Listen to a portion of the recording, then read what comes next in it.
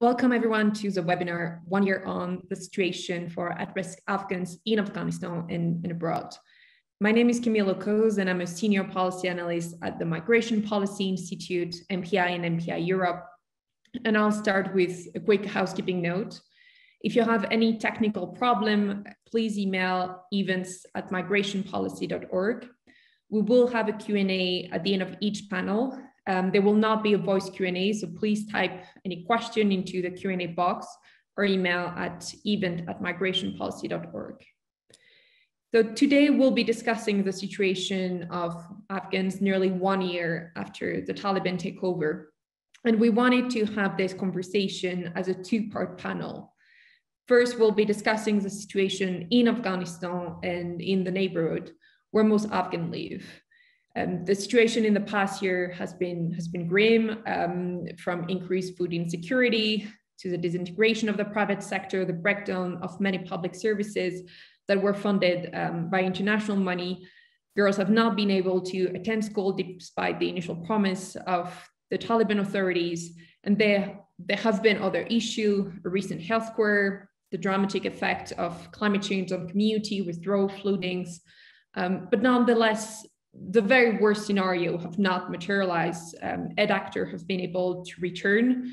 Uh, access to some provinces has, has improved, and people have been fleeing the country, but not to the level that, that was initially feared.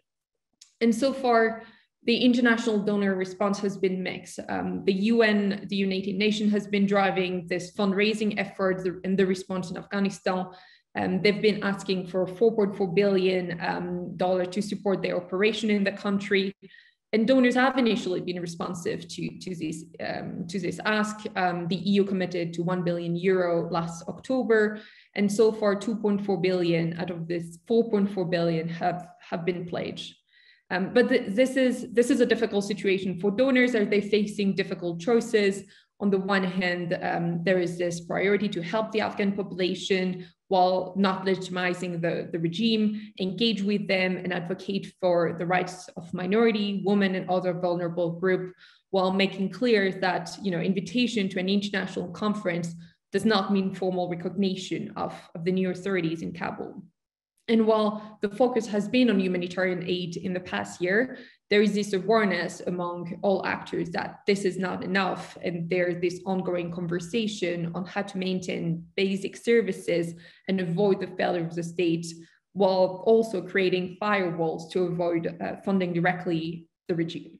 So we'll address all of this question um, first, and then I'll turn to my colleague Susan Fratzke to talk about the other side of the story, um, you know, the other pillar of international efforts in Afghanistan at the moment, which are evacuation efforts and access to safe pathways, because these efforts have continued in the past year. And we wanted to take stock of, you know, the status of this evacuation, what pathways are still available, what new pathways have been created, and you know whether this unprecedented situation has allowed for more creativity more coordination between countries with some very difficult question um, on how to select uh, people, especially you know in a country where sometimes many evidence, many documents have been destroyed, where there is a huge backlog and where there is a huge demand.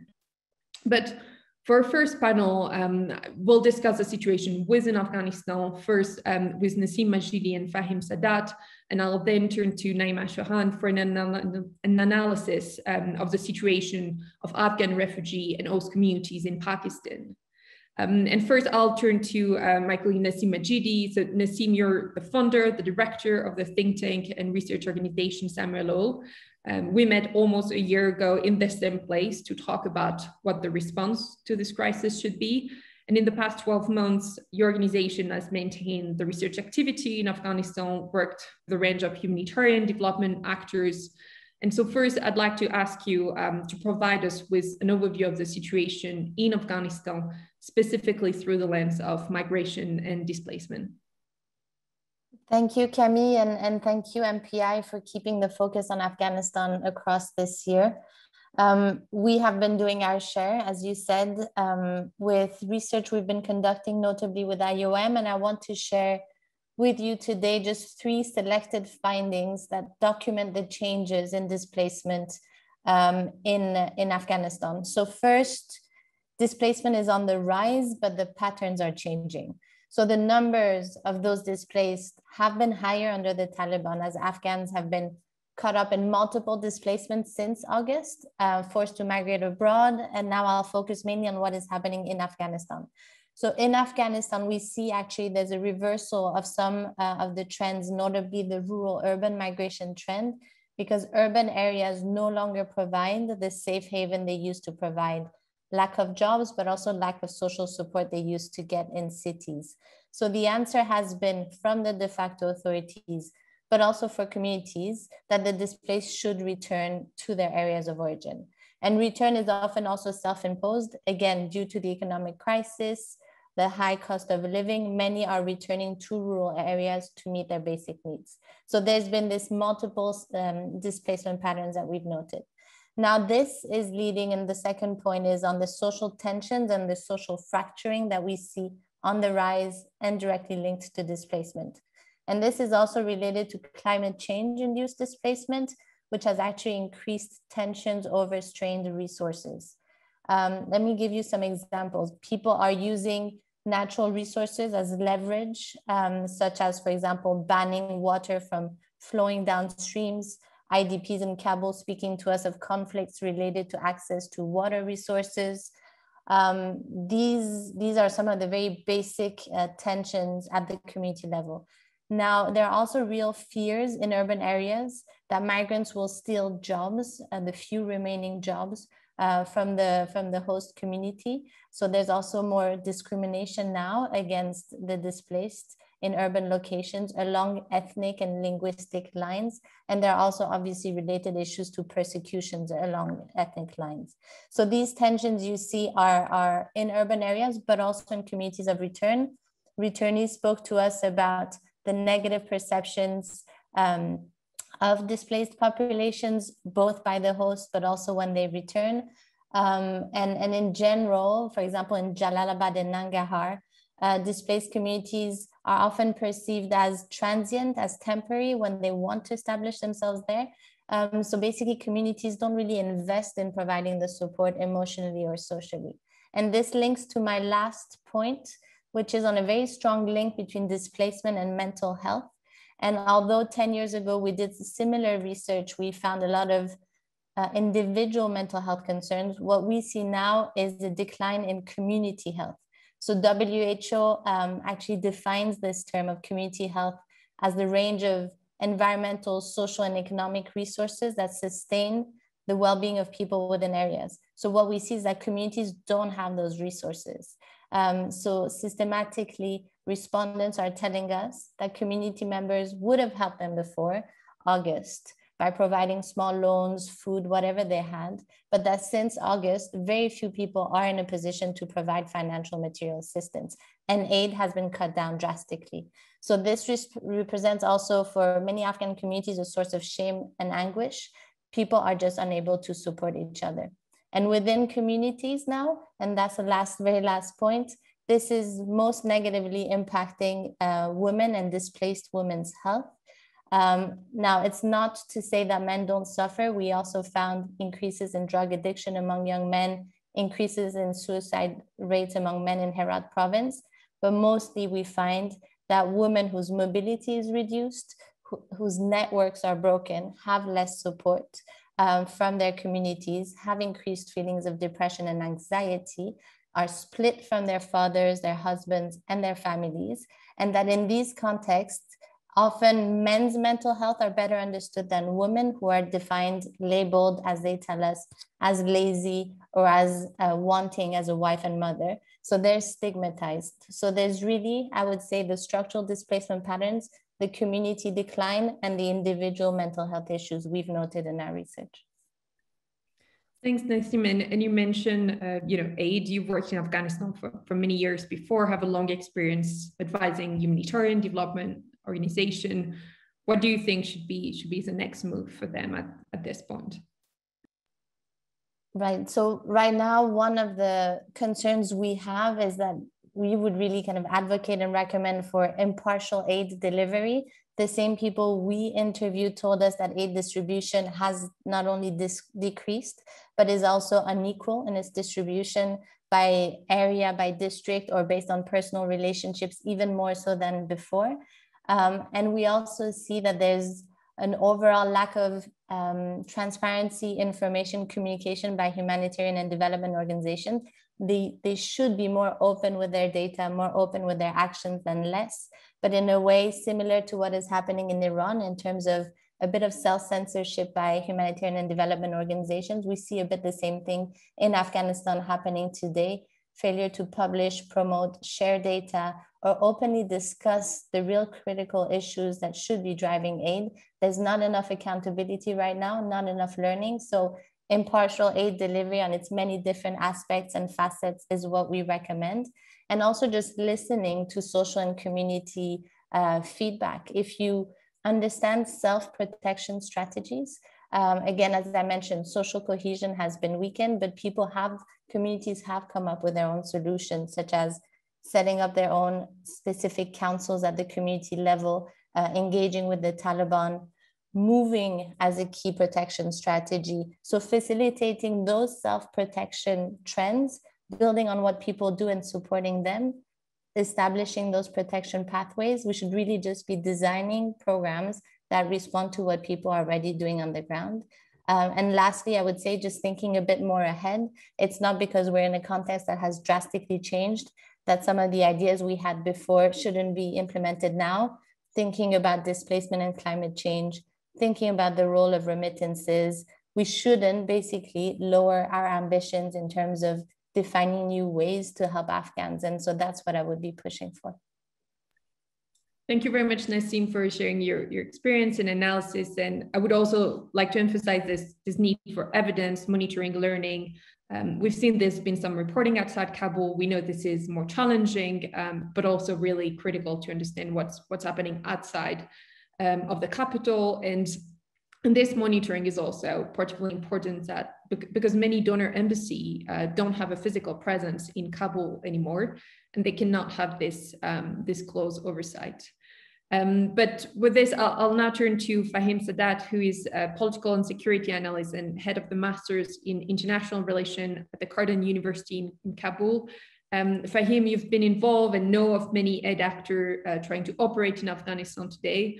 And I think um, a point that's that's worth reflecting on is the difficulty for humanitarian and development actors to operate in the country now. Uh, we know some agencies have opted, you know, to manage operation remotely. I think this can make even more difficult uh, to follow operation.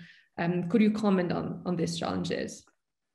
Um, thank you. Uh, I would first say that uh, Afghanistan's uh, is facing right now a universal poverty according to the World Bank designated uh, international poverty. And in such a situation, you have uh, the Taliban's, whose leaders uh, from once heavily sanctioned terrorists are uh, heavily sanctioned de facto leaders of the country now. And the government is not re uh, recognized. So this itself is, I think, a principal challenge for the aid actors uh, to do their work smoothly. Uh, second is that we, we do have a a lack of a centralized data system uh, where uh, uh, all the aid actors um, could know who has been helped so far and who is not, which areas are covered and which areas are not. Uh, there is more of an individualistic um, uh, effort of each and every actor, whether local or international, trying to cover uh, and do what they can do. Third, you have the, the, the, the, Taliban as, as the government, as the de facto authority, who is trying to assert themselves and somehow uh, uh, try to monopolize over the distribution uh, uh, of the aid, which comes at times uh, in, in conflict with the donor agencies' approach to, to, the, to, to the solvement of the humanitarian crisis. Uh, uh, uh, for example, the Taliban are still trying to assert in a way that we usually had um, uh, uh, the law, the previous law was that uh, whoever wanted to open a humanitarian relief agency, there were certain rules and regulations. As for example, 10,000 10, uh, Afghani were to be paid for the for the license. And now they they they made that like 4,000, 40,000. Uh, the chairperson has to be present while uh, uh, so many of the people who, who owned an, a humanitarian agency or want to open a humanitarian agency in, in Kabul are somehow out of the country for different reasons. Uh, so uh, if the chairperson is not in Kabul, almost that NGO is, is, is, is no more active or cannot function. Uh, and, and, and, like this, also, I would say there are so many uh, places in Afghanistan where the local NGOs does not have the uh, necessary or the required uh, facilities to reach out there. Uh, there are mountainous, there are uh, hardly uh, roads, there are hardly um, access points that makes it very, very difficult. for the NGOs, we have a very good example of the earthquake that happened in, in Paktia and, and uh, Khost uh, uh, uh, the major problem that the, that was faced by the humanitarian uh, relief organizations was how to access to those areas. Uh, there were hardly any roads and, and other facilities. So also, I believe the environment of the the, the, the, political environment where the Taliban are struggling to get legitimization and recognition, which is not happening, uh, is not making them uh, uh, very friendly with the with the outside world, and uh, at the same time, uh, uh, the outside world does not see the environment very conducive and friendly, looking at the restrictions that are happening on the women and and and girls, particularly in terms of education. So uh, all of these are the challenges at the moment uh, faced by the uh, by the Afghans and by the donor community. Thanks, Fahim. And, and as I asked Nassim, you know, can you provide recommendation for, for Western donors ahead of, of the next winter? What type of assistance do you think they should fund in Afghanistan and how they should engage with, with the Taliban administration?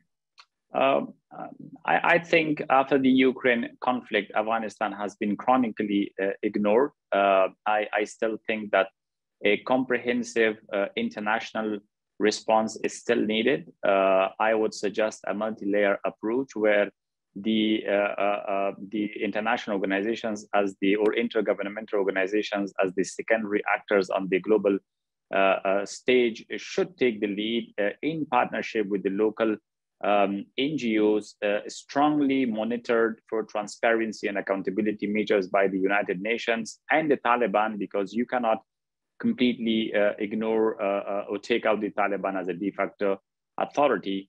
But I would definitely suggest a monitoring role for them jointly with the United Nations.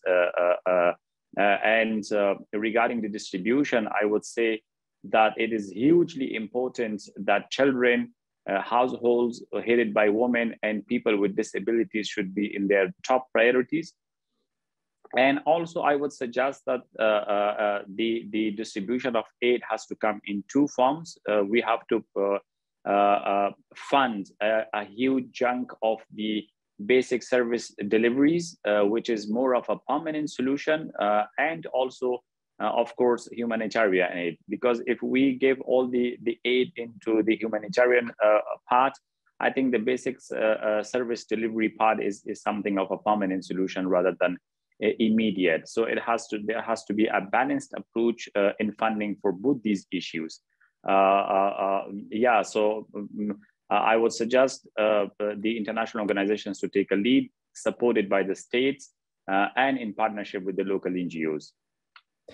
Thank, thanks, Fahim. And, and I think this remark, yeah, summarized well the the expectation of actors was, you know, what needs to happen to meet the needs um, of civilian.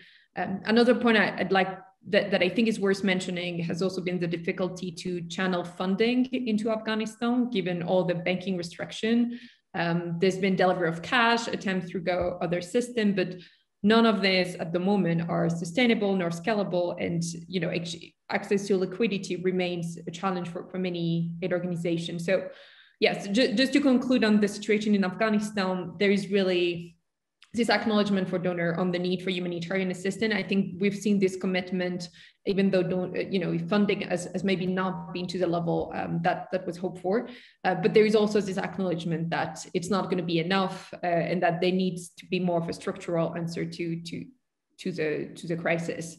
Um, but now to, to close this panel, I'd like to turn to Naima Shohan, who is the head of technical excellence um, at the International Rescue Committee in Pakistan, um, to get a sense of the situation for Afghan refugees and communities in host communities um, in that country. So since August 15, more Afghan refugees have sought to cross the border to, to Pakistan to seek refuge um, to reunite with their family there, uh, but also to access safe pathways, um, as we'll discuss with our colleague Fiona and, and Susan in, in a few minutes. But um, Pakistan, of course, has this long history of um, hosting refugees. But when the Taliban took over last year, Islamabad sent a clear message that they should not be expected to extend this generosity again, suggested they've had enough, um, which was maybe a signal sent to Afghan in Afghanistan, uh, but then also to donors in the West. Um, but so Naima, you know, from your perspective, I wanted to ask you what has changed for Afghan refugees and those communities in, in Pakistan since the last year. If you could provide us uh, an overview, that would be much appreciated. And thank you, Camille. So just uh, briefly speaking of what you mentioned, that Pakistan is hosting Afghan refugees for the last like over 40 years. And the currently we are hosting quite a large number in terms of like there are 1.4 million registered Afghan refugees. Then we have quite a big number, approximately 800,000 unregistered.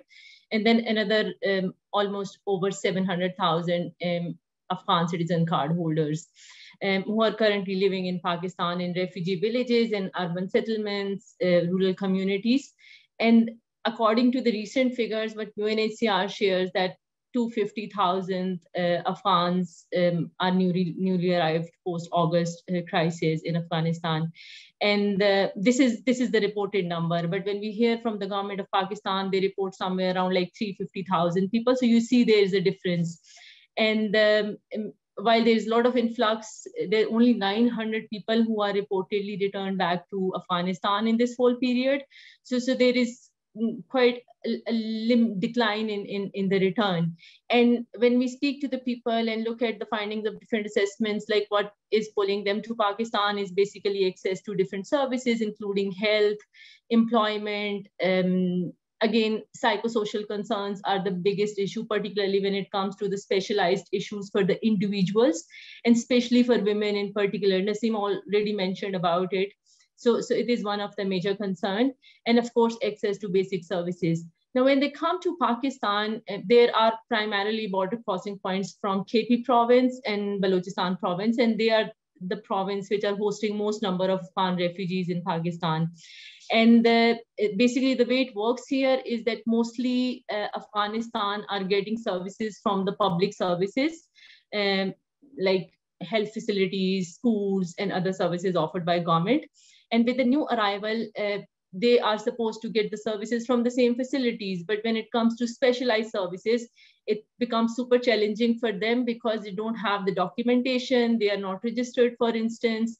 So you know getting specialized services is already always an issue. So when they and also when they cross borders and coming from for example chaman and killa abdullah districts in pakistan they mostly try to migrate to the urban areas at like bigger cities because chaman and killa abdullah has less facilities i would say and and uh, less opportunities. And so, so during this whole migration towards the rural urban cities they generally face a lot of like harassment if there are police checkpoints so there's a fear of arrest and detention and sometimes uh, deportation back to the country. So, so, so these kind of issues exist. And also many of the uh, Afghans who are crossing borders are living with their relatives are their tribal members or any acquainted they have in Pakistan and one of the major challenge in that front is like because they're already living in like make and shift shelters particularly those who are uh, with a low socioeconomic status uh, they're already struggling with the resources. So in that regard uh, it, it's always challenging in terms of you know having safe shelter. There are a lot of cases of exploitation particularly when it comes to children and women and there are uh, increased risks of child labor and stuff like that and so so yeah these are few few things which are uh, most pertinent i would say thanks, Naima, for that. And, you know, I mean, IRC, the organization we, we work with, um, is one of the main humanitarian organizations that deliver assistance um, to refugees as well as host communities. So um, my question for you is, you know, can you say a few words about what IRC is doing to um, assist this group, but also what challenge you're facing on the ground uh, to deliver this, uh, this aid? Um, okay, so if I speak specifically about IRC and other uh, organizations working in Pakistan, we have evolved our approach, like with this whole changing strategy where, you know, Afghan, Afghan refugees have to take services from the public service points. And so a lot of our work is mostly at the strengthening the government facilities, like for example, working with the schools, with health facilities, making sure they have enough infrastructure, human resource and supplies to cater the additional load of Afghan refugees and host communities, uh, which is already overstretched, even like for the Pakistani uh, population. And then there's a lot of work is being done at the community level and individual level as well. Like, for example, the new arrivals were coming in, they are in dire need of, like, for example, NFI assistance, and psychosocial support, I would say, some sort of like, um, you know, legal assistance in terms of uh, how to get registered, how to get support to, to, to address some of the uh, issues related to harassment and exploitation. And secondly we what we have also started doing is that having more kind of like interventions where we can reach out to the new arrivals in the population who is unregistered for instance. So and, and having like multi-sectoral response where you have a combination of health education wash protection services and so, so, so, they can you know get all these services from one service delivery point for instance. So we have um, expanded like for example in the border, border districts having mobile health units. So for those who cannot come to the health facilities, they can get services there because of any reason. Uh, if they are coming to health facilities, so there is additional human resource and supplies which are not for registered or not compromising for the host community needs, but you know, just to cater the additional needs of the refugees. And then at the community level, there's sort of efforts going on in terms of like peaceful coexistence, social cohesion efforts to bring refugees and hosts together, and having more acceptance for the new arrivals, um, and the, um, making sure that their rights and needs are not being compromised and being taken care of.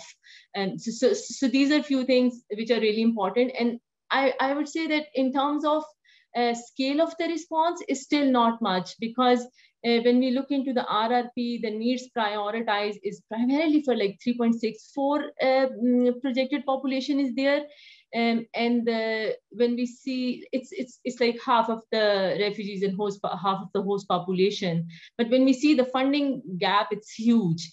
So there are interventions happening at the at, at, small pockets, but to have like more investment in the system at the system level, uh, strengthening the government capacity for the service deliveries, uh, providing more uh, support in infrastructure, human resource, and, and such sort of elements is, is much needed.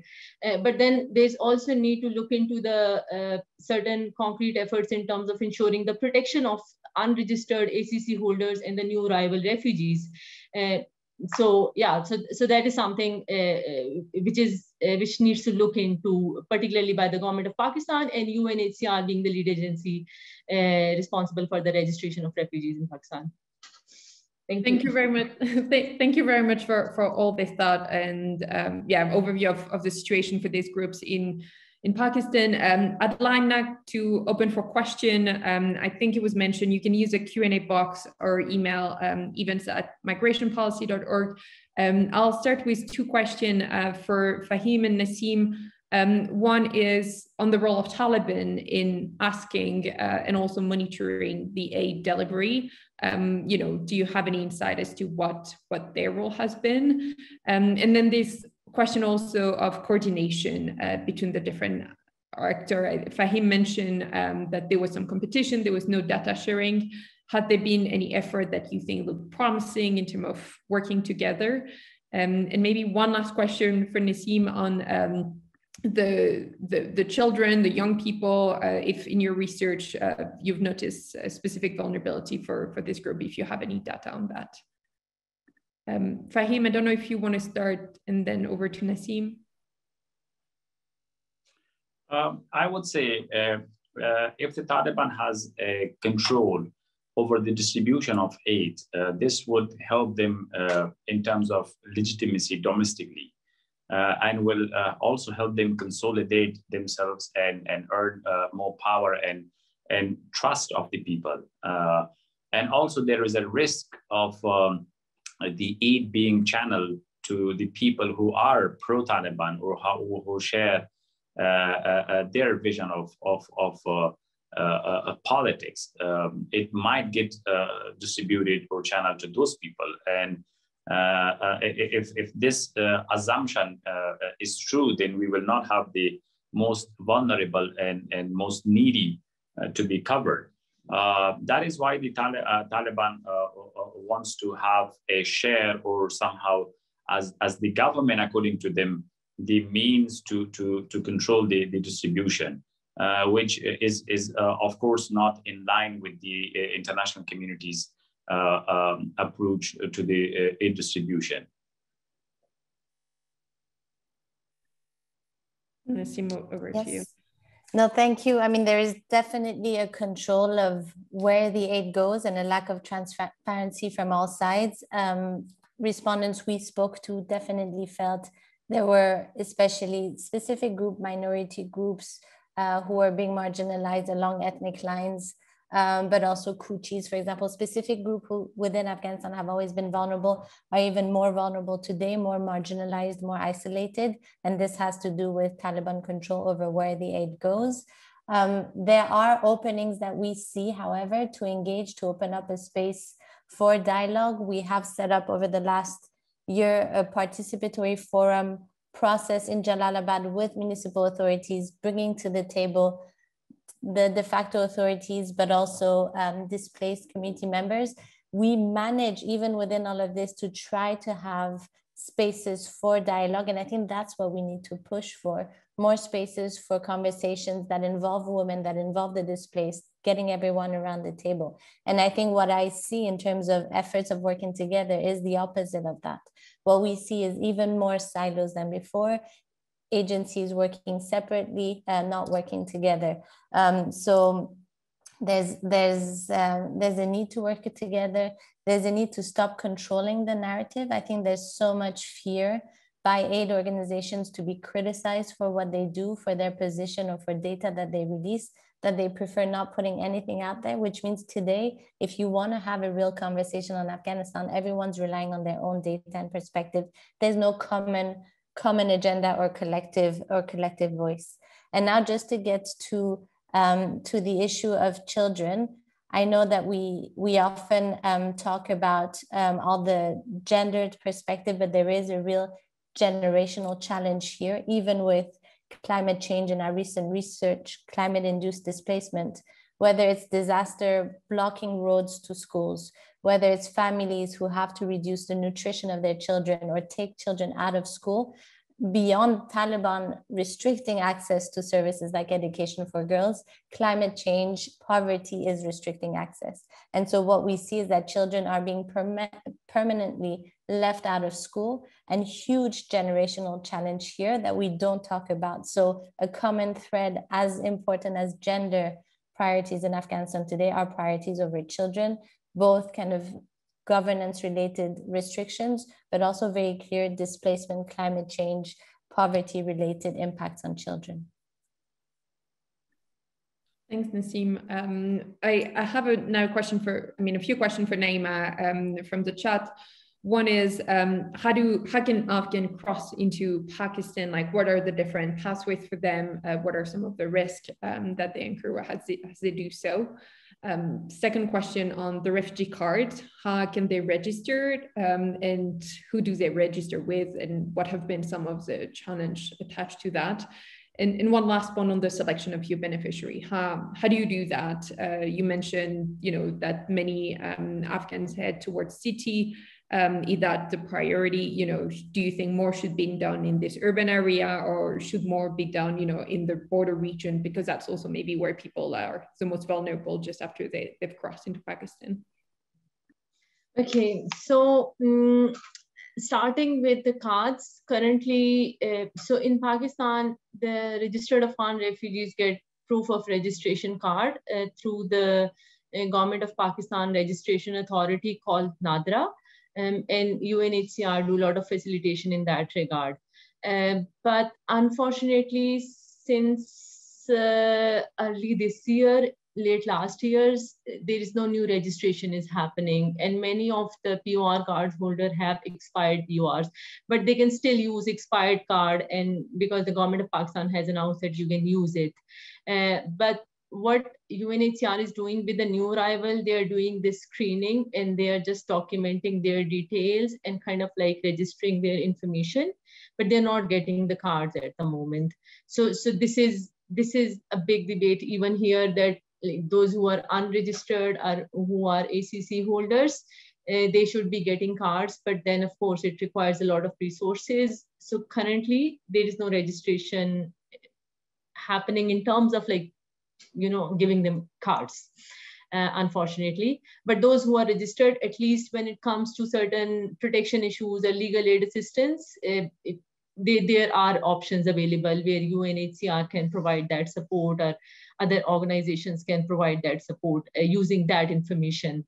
And in terms of uh, selection of beneficiaries or areas, um, it, it, it's bit of tricky, I would say. Like one of the thing, particularly when it comes to having more concentrated programming, we generally go for the areas where there is you know, more vulnerable population living in where there's a concentration of refugee population. For example, there have been refugee villages in past, or there's a big population in uh, certain uh, cities or, or, or, uh, urban rural areas.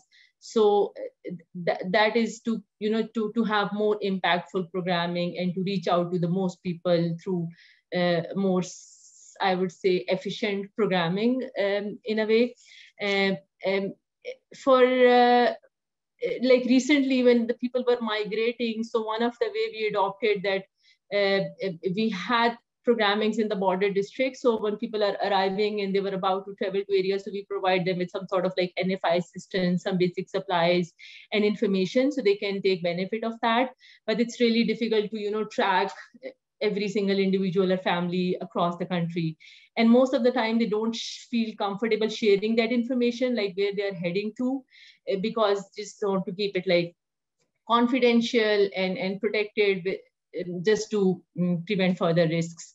Um, um, because there is general risk that they, they might be they might be getting tracked or, or they may face some sort of like consequences if they share a lot of information. They even sometimes hide like whether or not they are refugees and are, are they coming from Afghanistan? And so, yeah, so if we see most of our programming, like even in KP province, we are currently working in 19 districts with UNHCR. And these are primarily the villages where we had like most of the refugee villages, like it's a camp, basically what we call here in Pakistan, refugee villages and um, host uh, urban pop, uh, refugee population living in urban settlements with host communities are present. Um, so, so, so this is a way of doing it. But on the other side, we also have like certain information channels. Like for example, if you need any information, for example, if you're living in Karachi and you need some information about the service provider, so you can contact us and we can share that information with you. We may not be there to directly support them, but we can at least share the information about like where and how to get services. And lastly, your question was around uh, the border crossing points. Um, sorry. Um, so, so, so there are some um, um, formal points like the border crossing points in Chaman, Killa Abdullah, some of the NMDs areas, uh, where they have to cross the, the, the, the border. Um, uh, and for them they have to show some sort of like documentation if they're coming to pakistan. But in, like but but if you have like some critical health needs are uh, are you you have been referred so, so, it's much easier for you to cross that border. And there have been some um, un i would say informal border crossing points uh, which are uh, you know um, which are more sort of like where there's more sort of like smuggling or people are coming through illegal ways across the borders. Uh, and and and those are the points where most of the uh, undocumented uh, Afghan refugees are are basically coming into the Pakistan. Um, and um, and that is why like when we see the difference like for example that the data unhcr has that is primarily the people who cross through the formal border points but when you go to the community and meet with the people eh, particularly the, the, the border districts where we are currently responding you'll find a lot of like new people um, expanded families living together um, mm, who are coming from afghanistan but they are not documented they are not uh, uh, kind of like um, they don't have their documents and that's why they try to hide their identity and stuff like that. So so yeah Thanks, Naima, and yeah, for outlining also this um, what explains the difference in the some of the official data and also what what you're seeing on the ground. Um, I just have two final questions, uh, one for Nassim and, and, one for Fahim. Um, one question, Nassim, on access to justice, because I think that's also um, an area where you you've done work in the past you know, what is the situation at this moment, um, you know, in terms of the effort, but also for the access to, to justice system. Um, and I think there's been a lot of effort done in the past 20 years for access to justice for women. Um, what is the international response at, at this point? Is that something where anyone can, can engage? So I think this has been one of those long-standing issues. And again, where I was talking about um, not having enough information, this is really one of the key key gaps.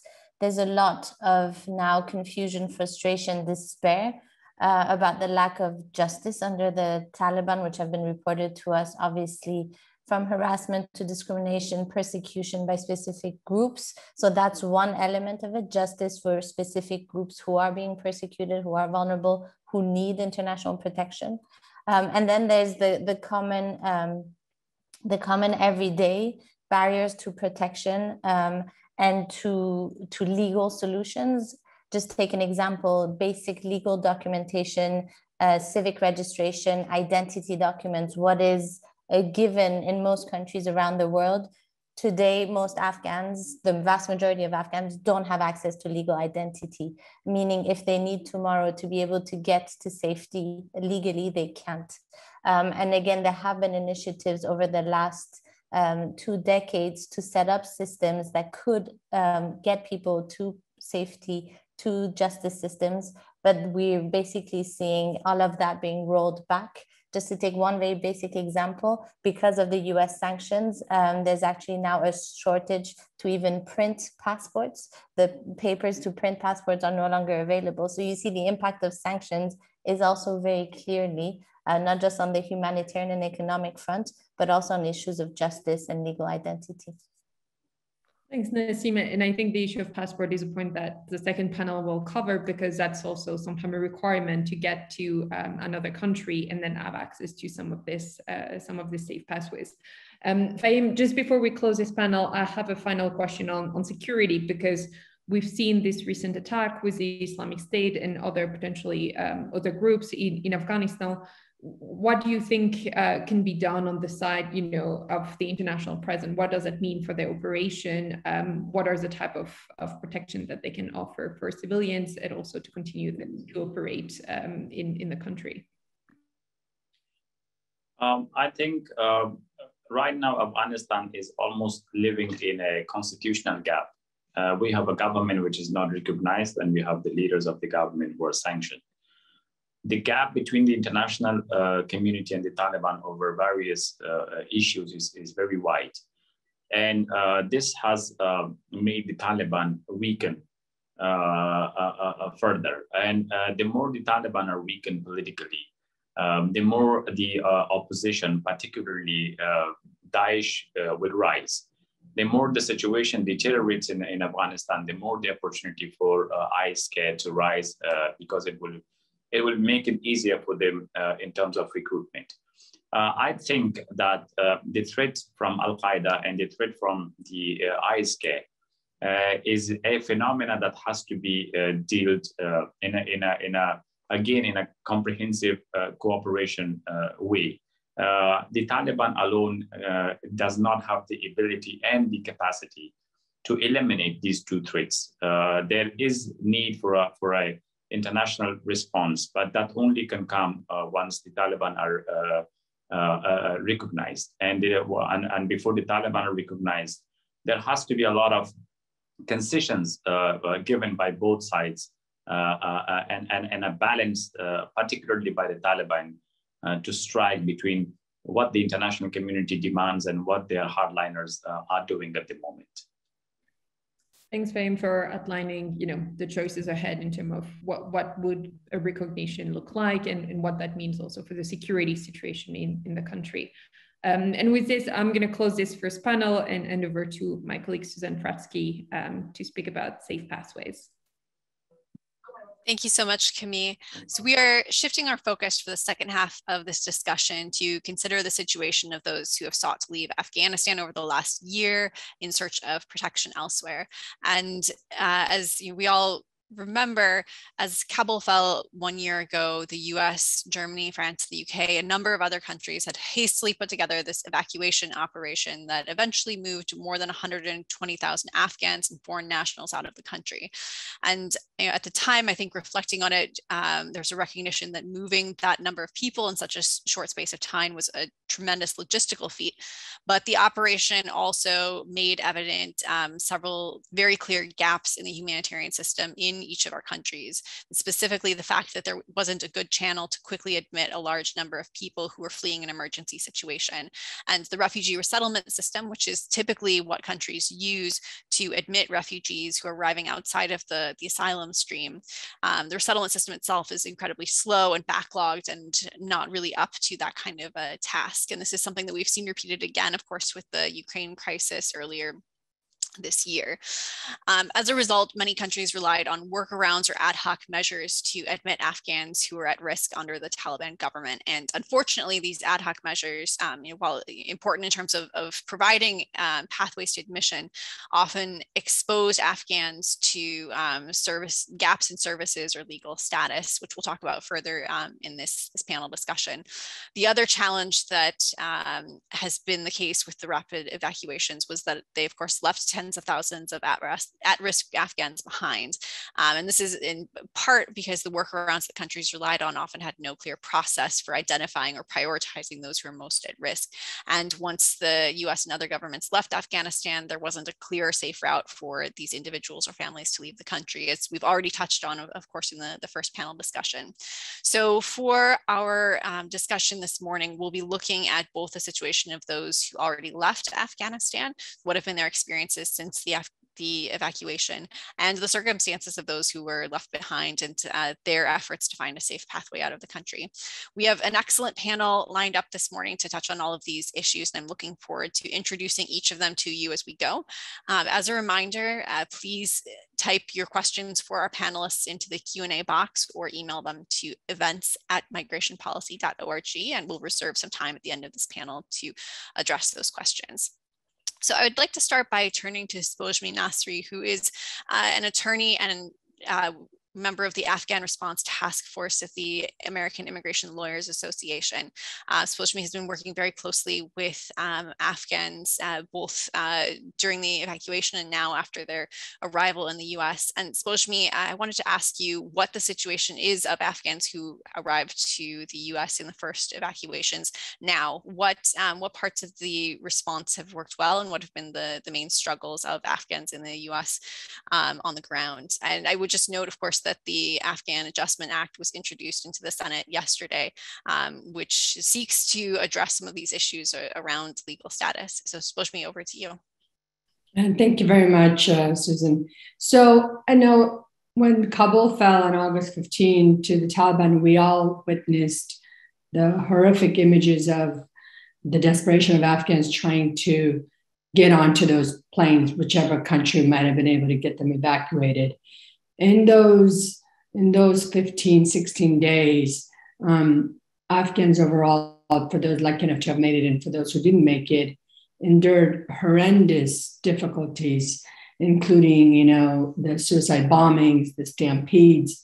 Um, as those afghans uh, took their those fortunate enough to get on those cargo planes took their journey to what was called the lily pads the us military bases in other countries they endured difficulties there. The conditions were very, very uh, difficult for many, especially in Qatar and the countries where um, the heat was very high and there was no, you know, food and sanitation and large numbers of Afghans were brought in. Um, and then they were brought into what was called the Lily, uh, the safe havens here in the East Coast, uh, in the States in the military. One of the challenges that we saw these Afghans were brought in a shorter amount of time. Now, the estimates that have been given um, as far as early as last week is there was over 89,000 Afghans um, evacuated. And of the 89,000, approximately 76,000 were paroled in for the two years, and the rest of them were either lawful permanent residents or US citizens. And so, as these individuals ended up in these eight military bases, um, they continued to endure hardships that uh, military bases were not meant to house them. It was meant to be temporarily housing, which then in turn turned into nine or 10 months of living on these bases. Some of the military bases were uh, equipped with the facilities to, uh, to accommodate the large number of Afghans, whereas some of the military bases um, did not. They were makeshift, they were made in a huge tents and the challenges and the difficulties that people were enduring there in terms of the living conditions on some bases were, were um, not what would we like to see. Um, the question you asked about how they are doing in terms of the military bases and transitioning, uh, there was no clear planning on the part of the US. I know that this is a chaotic evacuation. The Biden administration had been told by advocates close to what was going on in Afghanistan to evacuate Afghan uh, allies, particularly the special immigrant visa holders, the translators, those who worked with the government early on. And for some may may not know, there were some small evacuations that were being done early on in July, and then it got ramped up when the deadline was set in that 15 days. There was no clear pathway of screening. I know, for example, some of my clients um, were not able to get through to bring their families, where others were able to bring in family members um, and a whole bunch of people. There was no clear screening in the first few days. And in the chaos, there was no pathway to evacuate the people that we actually needed to evacuate. So now I've I had the opportunity to visit seven of the eight military bases, and I provided legal services along with many, many of my other colleagues and other individuals. Uh, the needs were great. The space was provided on the base. The food was provided on the base. The medical needs were taken care of, um, you know, in terms of what they needed to make sure there was not an outbreak of COVID or, or any other um, health related issues. But the, the situation is, is that the Trump administration had sort of, he had taken away the funding. There was no funding and not allowing any refugees to come in. Uh, and so when we had this catastrophic uh, number of people coming in all at one time, the, the agencies were not equipped to be able to meet those needs. So then people ended up being on these military bases for eight or nine months. And then, as the military bases were not meant to be a permanent housing for and by any means for anybody other than the work that needed to be done on the military, um, Afghans were placed all across the United States. And a lot of them continue to be in temporary housing like hotels, Airbnb, because of the shortages of the homes.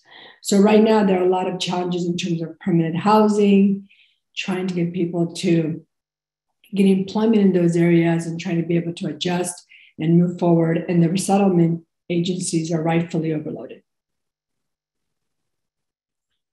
Thank you so much, Spojmi. Um, a lot of, uh, of real difficulties that you touched on with regard to um, access to, to services and housing and, and also you know, um, employment now that people have actually arrived in the US. Um, but of course, you know, as, as I touched on in the beginning, there are also um, many people who are still seeking um, to leave Afghanistan or neighboring countries to find safety in uh, the US or, or in a different country. So I wanted to turn now to, to Sunil Varghese, who is the policy director at the International Refugee Assistance Project, and also to Peter Lucier, who is part of the leadership team at Afghan EVAC, um, to tell us about uh, what the, the remaining needs are on the ground for evacuation and safe pathways out of Afghanistan and neighboring countries, and what have been some of the main challenges that um, people have encountered in actually being able to um, find safe routes out of the country. So Nassim, of course, on our uh, first panel had mentioned, for example, the lack of, of passport paper quicker for people to obtain documentation. Um, so I'll go first to Sunil and then um, to Peter. Great, thank you, Susan. Um, and I think this is a great question. It's an important question because um, the main, you know, one of the main uh, issues uh, when we talk about evacuation is the lack of robust, really any uh, feasible humanitarian pathways out of Afghanistan to the United States. Generally, there are three uh, potential pathways. There's a special immigrant visa or SIV program for Afghans who worked alongside and supported the U.S. mission in Afghanistan. There's the refugee process, the U.S. Refugee Admissions Program um, for Afghans who are uh, fearing persecution on account of their race, religion, nationality, membership in a particular social group. And then there's a temporary um, pathway called humanitarian parole, which allows uh, someone to enter the United States for urgent humanitarian reasons. Um, and it, you know there are thousands of people who are eligible for all three of those pathways in Afghanistan and in third countries, and those pathways are just um, simply not functioning. At um, the International Refugee Assistance Project or IRAP, we've been um, bringing litigation against the U.S. government for years um, due to the bottlenecks in the SIV process. The, from the creation of the special immigrant visa program, it was uh, plagued with um, inefficiencies and bottlenecks that were primarily the government's doing. And while we've seen, you know, some incremental improvements by the administration to make the process move um, a bit quicker, we haven't seen kind of the wholesale innovations and flexibility and streamlining that um, you know that we think that the government is uh, is able to do. Um, similarly, the U.S. refugee program, especially for Afghans, is basically at a standstill. A year ago, the U.S. Um, announced, for example, a special refugee program for uh, Afghans who are employed by US-based media or US-based NGOs. Those Afghans do not qualify for a special immigrant visa, but the program basically doesn't function. It's moving at a glacial space uh, pace, if at all. In July, I believe uh, it was 127 Afghans entered the U.S. as refugees, um, whereas there are tens of thousands of people who've been referred to the refugee program. I mean, we can spend hours discussing why. I think, as you heard from the um, uh, the IRC representative in Pakistan, just by way of example, there are tens of thousands of people who've been referred to the U.S. Refugee Admissions Program in Pakistan, but uh, you know there, there's just no processing happening. Um, and uh, these this refugee category is really important because this is the category where you have um, women and girls at risk, former judges, democracy activists, people who um, whose lives are at risk, um, but there is no pathway out. Um, and then there's humanitarian parole. There tens of thousands of people have applied for humanitarian parole, um, but the U.S. government just isn't processing applications. And I think, you know, just to you know hand it uh, over to Peter quickly to talk really about the specifics of evacuation. You can just take example of the uh, humanitarian parole program for Ukraine or Ukrainians, where the process itself was reimagined. The Department of State was completely cut out. Um, sponsors did um, they created a new system where sponsors uh, basically did a paper adjudication to directly to USCIS, um, and the individual was able to, um, you know, basically fly to an airport and get uh, um, vetting and security checks done um, by CBP at the port of entry. This is a whole new system, whereas um, the system that Afghans are subject to right now is, you know, the same system that's basically not been functioning even before the events of a year ago um, you know, interminable vetting, um, in-person requirements, documentary requirements that are um, not uh, that are just not um, positive solutions, feasible solutions for when um, people are fleeing um, large-scale uh, crises and displacement, such as in Afghanistan today. Yeah, I'll leave it there, but uh, happy to really answer questions and get more into the specifics. Yeah, over to you, Peter. Thanks so much, Sunil. And uh, handing it over to Peter now, you've of course been um, involved in, in supporting individuals directly also who are, are seeking um, to leave Afghanistan. So uh, you know, looking forward to hearing your comments on what the challenges have been also um, at the individual level. Um, and so for uh, a little background, Afghan Evac is a, a new organization in the space. Um, uh, Afghan Evac is a, an umbrella organization um, that kind of focuses on deconfliction and, and efficiencies with about 180 different, um, mostly volunteer, mostly that were organized kind of since August, since the fall of Kabul. Um, lots of um, American veterans and other people who have Afghanistan connections who um, came together and formed a lot of disparate groups and started working on evacuation issues. And um, Afghan evac kind of emerged to create a space where everybody could um, come together and get information from United States government and make all those things happen. Uh, so I sit uh, both on the Afghan evac team and then on one of the member organizations of, with Team America Relief. Um, just to give you kind of a, some size of the scope and the scale and and what we do. Um, so Team America Relief has uh, about 16,500 Afghan families in our database, um, about a little over 70,000 individuals at this point. So we see a lot of cases, and uh, Neil did a really good job of kind of covering the types of people and some of the legal challenges. Yeah, I think I can get into a little bit like um, if something can go wrong in evac, if something can prevent a successful evac from happening, um, it, it will happen. And here's what kind of some of those look like. So what, what does evacuation on the ground like mean? What are we really talking about? Um, that's what I do with Team America and Afghan evac. Uh, there's two kind of primary pathways that we're talking about. The first is, and these are all um, pathways that are going to end with permanent resettlement in the United States. So for the European audience, um, that's just outside of the scope of my work and what I know. Um, so these are all ending uh, with permanent uh, resettlement and status in the United States. First pipeline is um, the U.S. government, the CARE, the State Department um, CARE pipeline, uh, which involves U.S. government funded flights in partnership with some other countries, um, flight from Afghanistan to a third country, uh, where um, usually immigrant visa processing is finished or the new, um, when it works, the rapid refugee processing happens, uh, and then folks eventually um, come to the United States. The other option would be a kind of, the, we call it the self-funded option, um, where an applicant will self-relocate to a third country. The, the vast majority are Pakistan, but um, other folks have found themselves in third countries, uh, Albania, UAE, um, as well as you know various countries in Europe. Um, so they've gotten themselves there, and they're also attempting to complete immigrant visa processing or uh, refugee processing in that third country where they have access to um, U.S. embassy or consulate.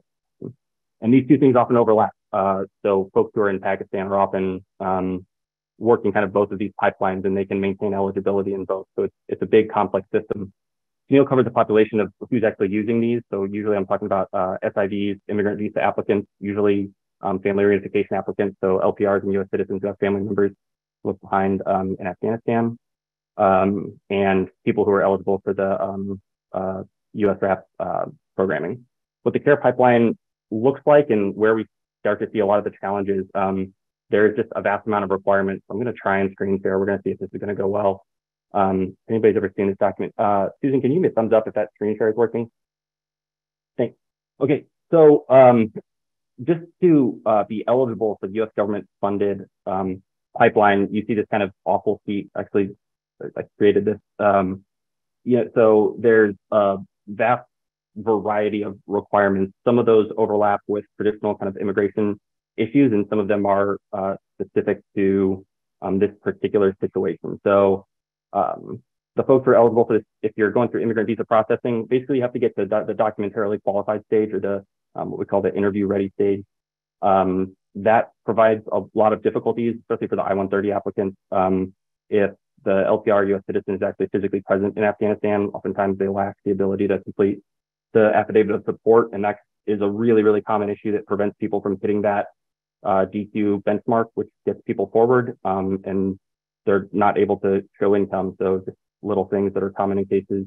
The eligibility requirements themselves, um, not every immigrant visa category is going to be um, eligible for this flight. The legal authorization for the flight comes from the White House, and so it's actually restricted. It's not it overlaps often with INA, but isn't always. So diversity visa um, uh, like diversity lottery uh, immigrant visa recipients aren't eligible for this. Um, humanitarian parole, even if approved in a third country, would not be able to take advantage of these particular flights. They're only available to certain people who you see on this. So it's a it's a narrower pool. Um, the data requirements uh, necessary in order to successfully affect somebody getting on one of those flights exceed that which is contained in an immigrant visa application. At Team America, we collect 66 data points per individual, um, plus normally, you know, 10 to 15 like documents, all of which have to get submitted to the care team in order for one person to get on um, a flight. Uh, then there's the kind of specific physical requirements themselves. Um, you need six months of um, validity on your passport, and yeah, passports are hard to come by right now.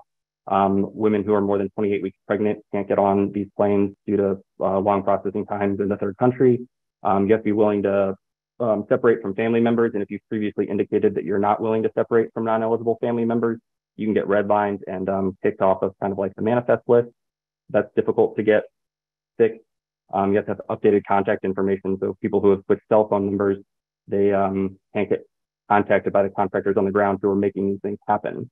Um, all of these little things like can and do go wrong, and getting people onto planes is incredibly difficult um, because it's not just traditional like immigration work, although that itself has all of its problems, like with uh, SIVs and and long wait times and family preference categories. Um, every single one of these kind of has to get reviewed and checked by mostly volunteers who are still kind of doing this work, compiling this data, putting it together. Um, it's a huge challenge. We're grateful that the flights are happening, but um, you know, getting people to that DQ line and then actually getting them on the flight is hugely troublesome. Um, other problems writ large with the care pipeline, flights have shut down before. We're relying on cooperation with the Taliban. So from December 6th until late January, there was like six weeks of, of no flights. Um, it was confusing for folks. There were people who had actually been on a plane who had to then go home. They had to be housed and getting them onto a new one is really, really difficult. So at any given time, like the relationship with the Taliban has to be kind of strong and negotiated and diplomatic um, because they can at any time kind of stop these flights and it's happened uh, and it's difficult. There's also constraints at every stage in the system. We often talk about throughput. Um, uh, housing crisis in the U.S. affects the ability to actually successfully resettle people, and if we can't resettle them fast enough, we can't fill up the bed spaces in the third country fast enough. Um, and then the flights slow down. We're in one of those periods right now where flight capacity actually could be greater, but it's reduced because of um, slowdowns in the third country stage and then the ability of uh, resettlement agencies to deal with the, the flux of everybody. So again, any kink in the pipeline can slow everybody down and that equates to really long issues. The immigration issues with SIVs are kind of well known um, right now. Some of the things we're seeing, people who applied for SIVs right now, uh, NVC is still reading emails from uh, late September just to get an initial response from NVC um, in order to send in your civil documents or to actually uh, get a response on an inquiry letter. They're still back in March. So, you know, a year before your application has eyes on it by um, NVC, much less uh, the chief of mission, and then, you know, six months to get a response on an inquiry or to update documents um, that you're trying to send in. So SIV issues are, are ongoing. I talked a little bit about the um, affidavit of support requirement issues that we're seeing. Um, those happen in third countries as well, and we're seeing people like frustrated cases spend six months to a you know a year in third countries, and it's, it's getting difficult. Like the data issues are messy, the passport requirements are ongoing, um, especially for folks in third countries.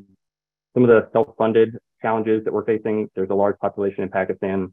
Um, they're running out of money. Even SIVs who've been able to get um, you know interviews at the embassy in Islamabad um, are spending long periods of time because that SIV post-interview um, security vetting is still far too long. Um, so folks who are, you know, already have left everything that they've owned and, and often don't have a lot of money in the bank are having to self-fund their, you know, stay in Pakistan away from support networks, family and friends. And they're running out of money. They have to continuously renew their um, visas in Pakistan.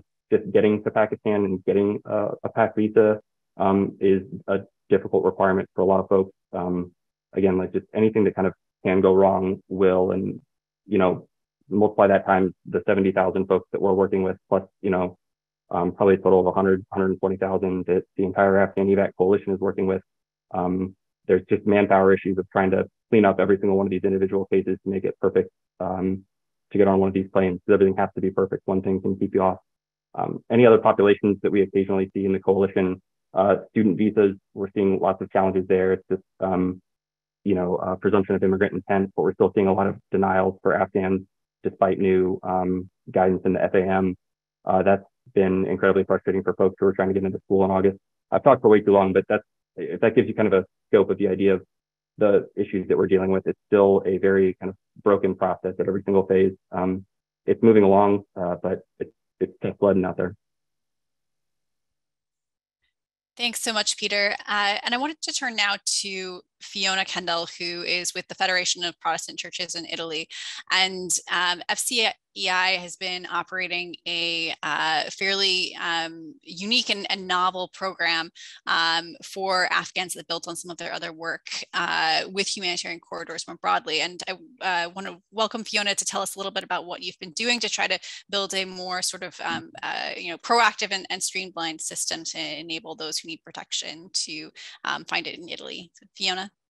Thanks, Susan, and uh, thanks for the invitation to participate in this hugely interesting seminar. Um, yes, the Federation of Protestant Churches in Italy, along with some other faith organisations, has been operating humanitarian corridors to Italy since 2016, beginning first with a pilot uh, from Lebanon into Italy and then expanding to other countries such as Jordan, Niger, Ethiopia, and so on. And I think the, the reason I mention that is that the the initiative, the model, was already embedded within the Italian system when the Afghan crisis uh, erupted. And that therefore gave us an opportunity, um, and indeed the government an opportunity quickly to consider the possibility of opening a humanitarian corridor for Afghans.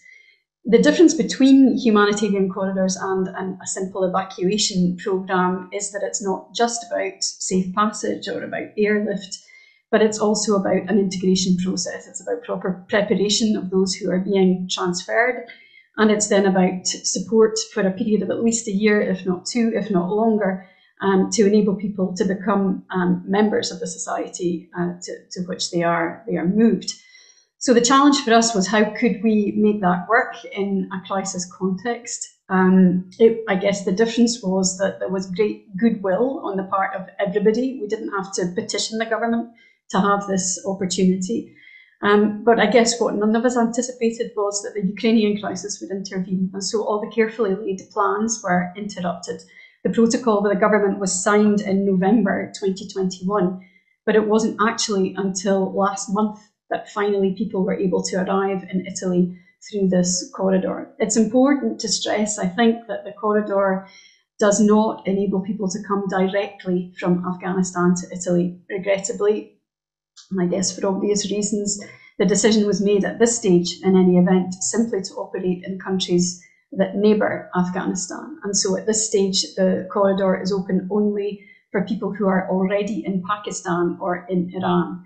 And that is troubling um, in the sense that those who are involved in the programme are desperately concerned about the relatives that they've left behind in Afghanistan. And unfortunately, we just don't have a way to offer them participation in the programme at this stage.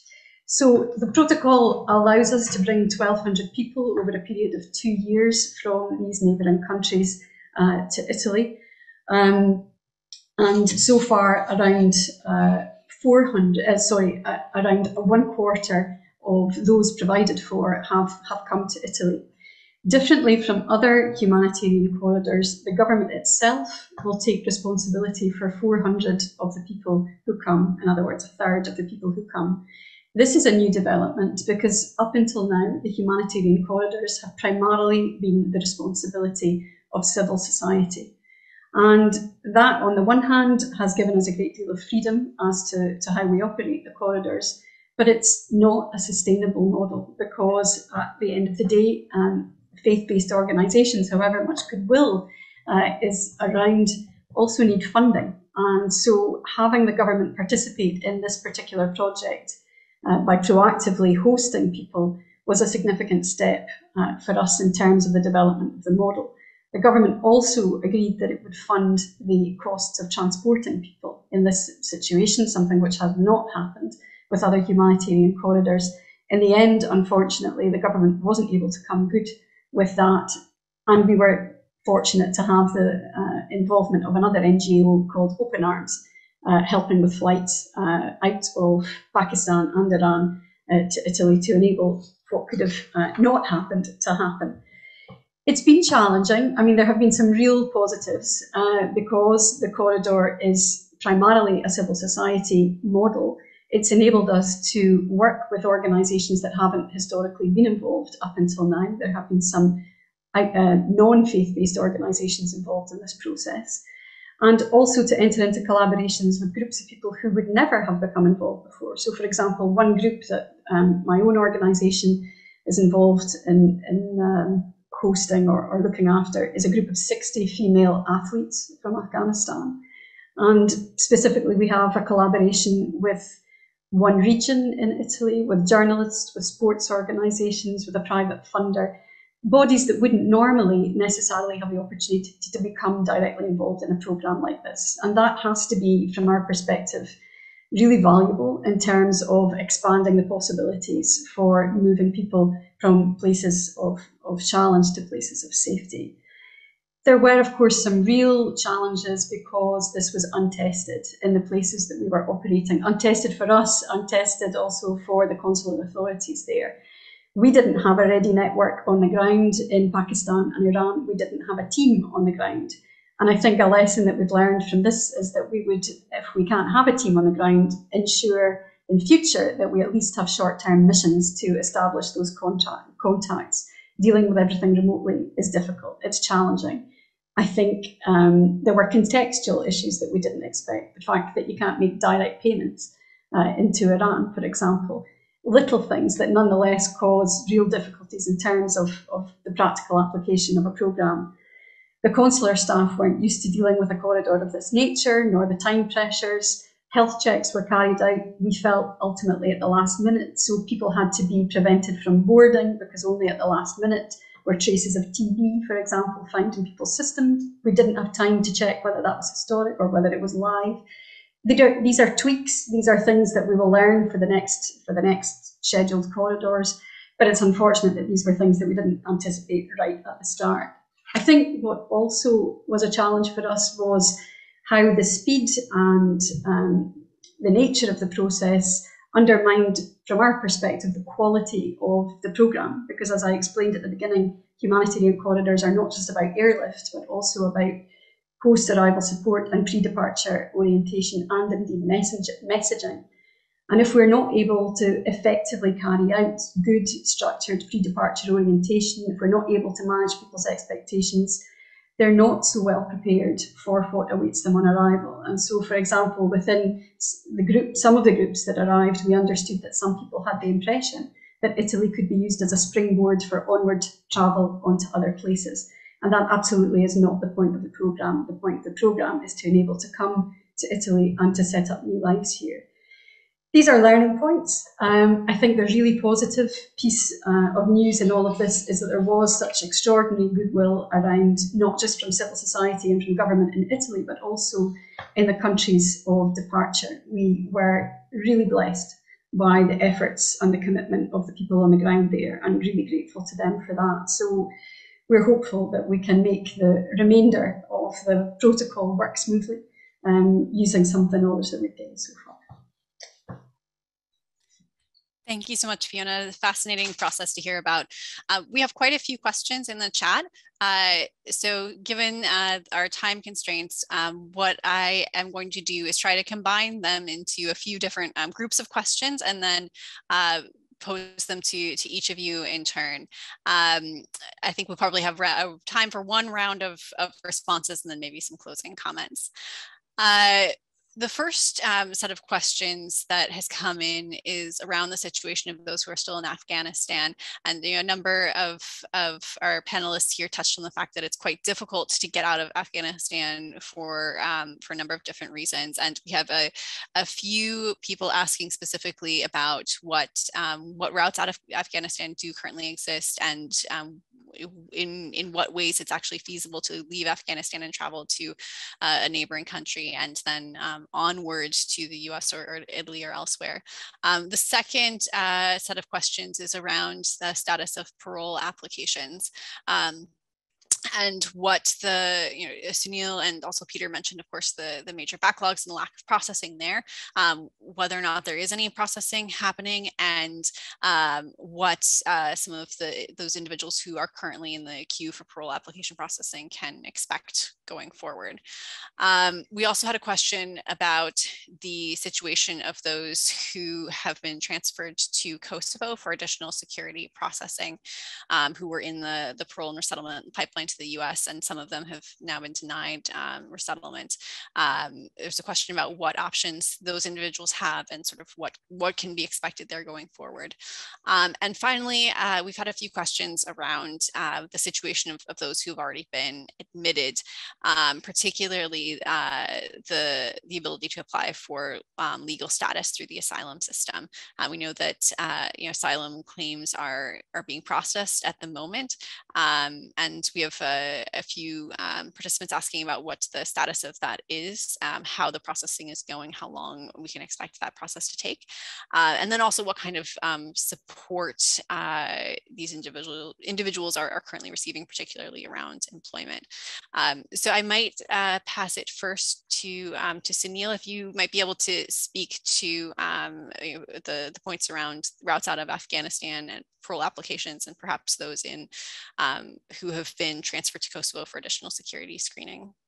And any other, any other points that you wish to take up, but I think we'd particularly welcome hearing from you on those issues.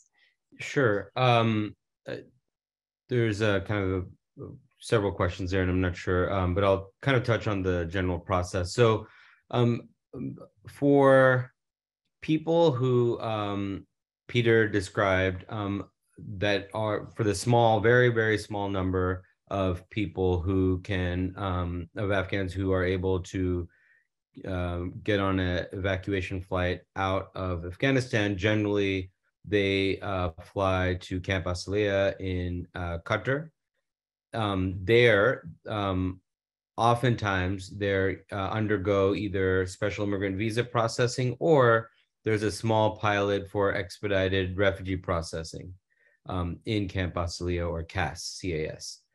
Um, generally, well, it used to be that people, um, the government of Qatar would allow Afghans who are being flown into CAS to stay there for 30 days, 45 days. Um, and generally, those whose refugee processing were uh, was to take longer, they'd um, be transferred to Camp Bondsteel in Kosovo, to await uh, continuation of refugee processing there. Um, and the process isn't this clean. There's a lot of exceptions. I'm just generally kind of painting the picture here. Couple caveats there. This the people, as you saw from um, Peter's list, uh, generally people who are referred to the U.S. refugee program by UNHCR, by an embassy, by an NGO, or have access to the refugee program through um, because they worked for a US based NGO or a US based media organization, they do not qualify for evacuation flight. So that expedited refugee process is really for people kind of outside those that have been referred to the US refugee program already.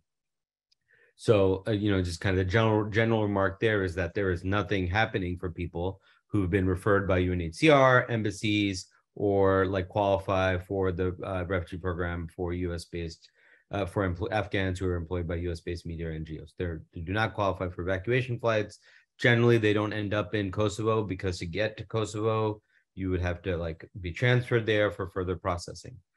Another remark I would kind of put out there, but again, these are, these are complex issues, so follow up with me or with someone if you want to follow up. But um, uh, refugee processing, one of the reasons, many reasons that it's very slow uh, is um, over the years, the just not just the Trump administration, but the United States has kind of layered um, layers on layers of security checks and vetting that oftentimes the intent is to basically keep refugees, often refugees from Muslim majority countries, out of the US.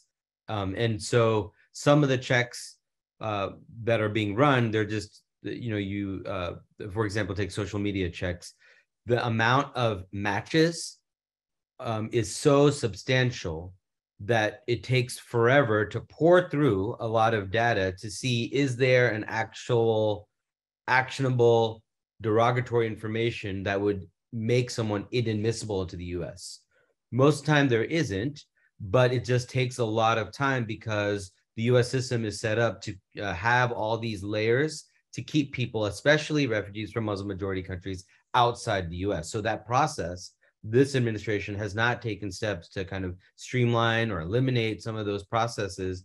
And so people are in Camp Bondsteel kind of awaiting uh, vetting for a long time, and I don't know, uh, you know, the, at least they're in the process because a question about folks who are in Albania, for example, people who are in UAE. UAE is a little bit of a different example, but um, during the evacuation a year ago, um, countries around the world, you know, accepted uh, evacuation flights for people with the idea that the U.S. Would there would be some plan but Albania is a good example. There's no plan. There's no like refugee processing. There's no evacuation flights.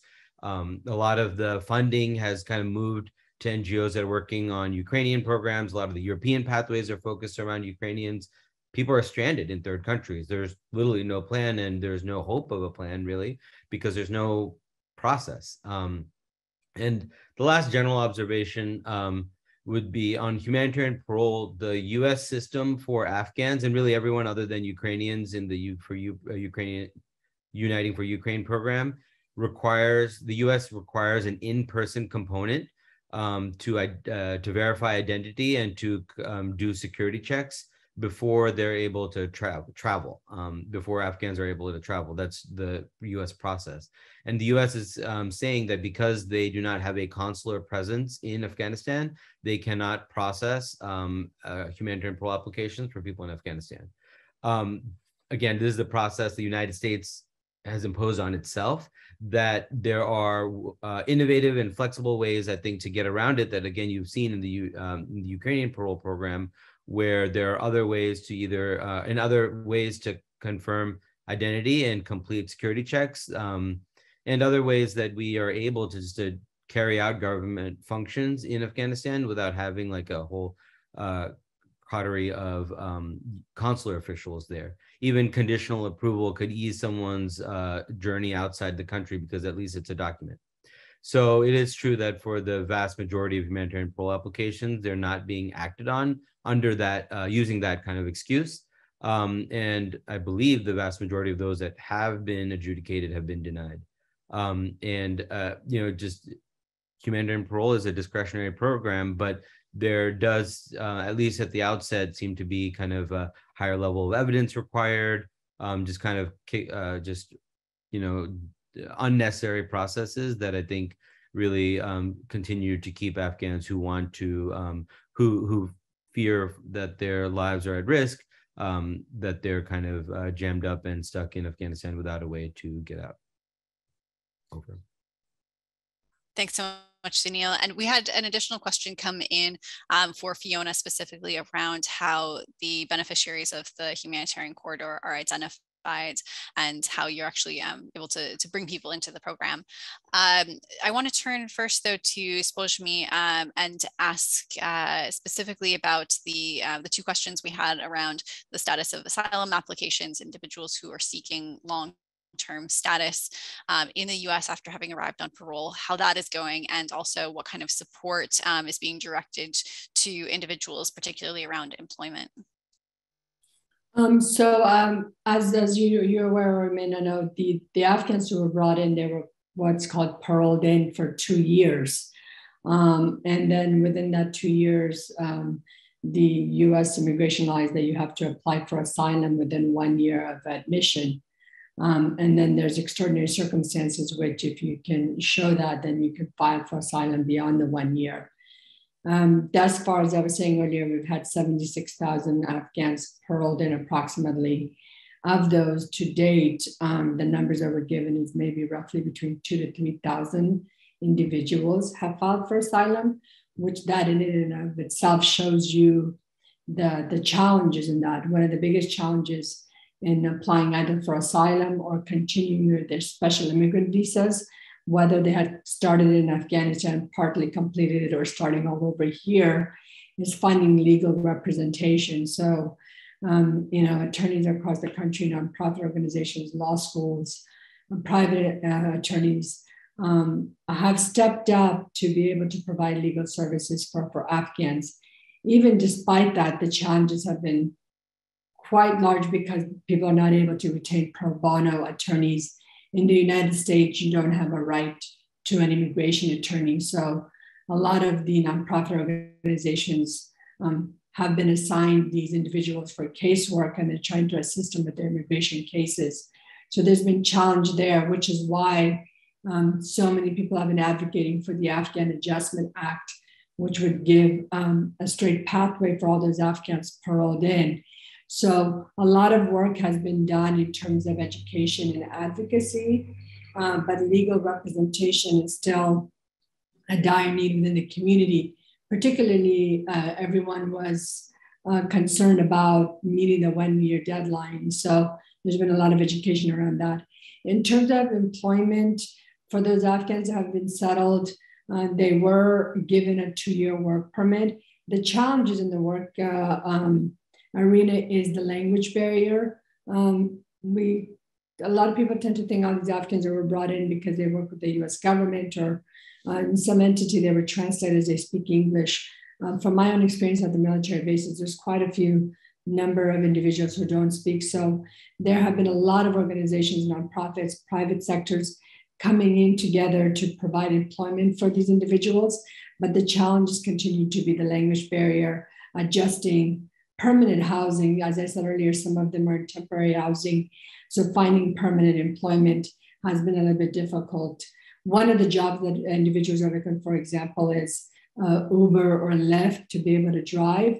But in certain states like California, you have to have a driver license for a certain amount of time before you are able to be um, able to work for those companies. Uh, but overall, I've seen a lot of organizations like Welcome US and other um, private organizations, churches um, coming together to find employment. So the challenges are there, but I'm seeing that some people are finding employment.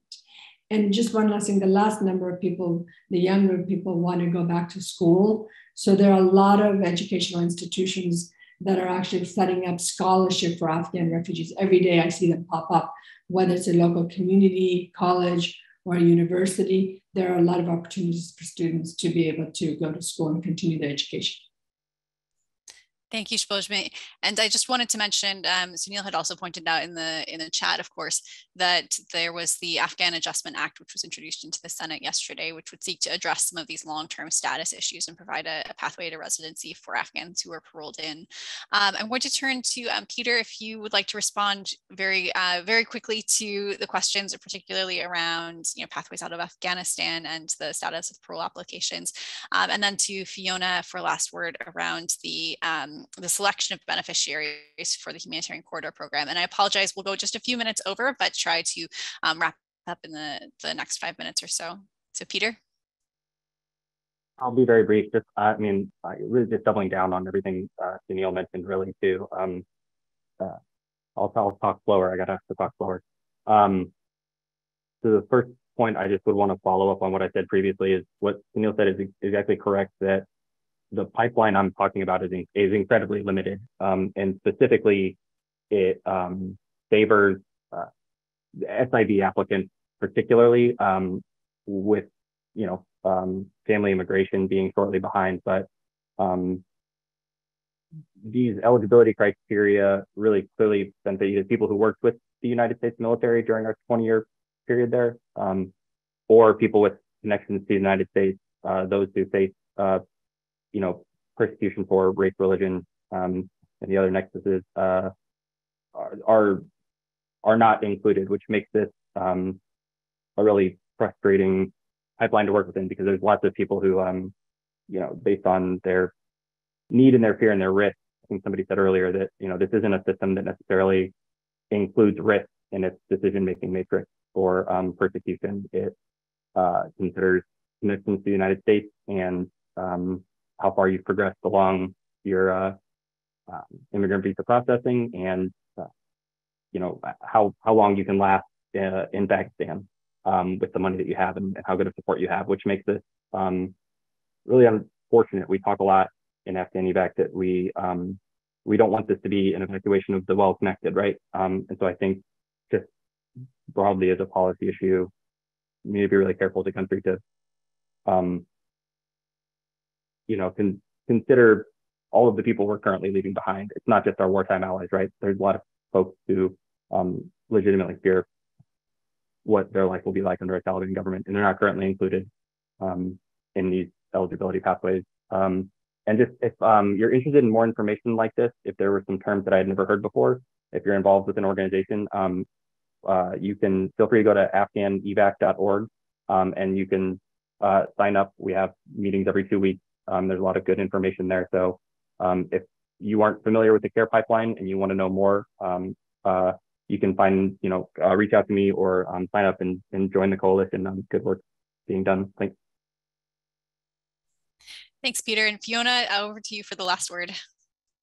Thanks, Susan. So, um, yes, just to summarize, the beneficiaries, terrible word, but the beneficiaries of this project are Afghan citizens who are clearly in need of international protection and their family members. And they can be identified in one of two ways either because they have at least prima facie recognition of refugee status from UNHCR or have refugee status, or they present the um, prerequisites for such identification. It's important to say, though, that it doesn't have to be UNHCR that carry out the identification process. One of the um, key features of humanitarian corridors is that the civil society organisations involved in hosting are also involved or have the opportunity to, to be involved in the identification process. And so, one of the key factors that is always taken into account is the um, level of vulnerability, because of course there are far more people who would present as uh, proper candidates for the programme than there are places. And so vulnerability is an issue that is often considered. In the case of the Afghan programme specifically, um, factors such as the kind of work that these people carried out in Afghanistan, if that caused particular difficulty for them because they worked, uh, for example, uh, in, as translators or you know in situations such as that, or people whose family members were airlifted in the air bridge back um, in August of last year. So there are some specific factors uh, for this particular protocol that we wouldn't normally expect in general humanitarian corridors programs, but which pay attention to the particular needs of this situation. I'll leave it there. Thank you, Fiona, and thank you so much to all of our panelists for joining us um, this morning or this afternoon, depending on where you're joining uh, the discussion from. And I also want to um, specifically thank our colleague Lisa Dixon, who um, is our events uh, coordinator here at MPI and is all of the um, manages all of the behind the scenes technical details to ensure that our conversation could happen this morning. Um, I also want to apologize for the many, many questions that we did not have a chance to answer during our conversation. We appreciate all of the, the questions everyone sent in and unfortunately did not have time to, to get to all of them.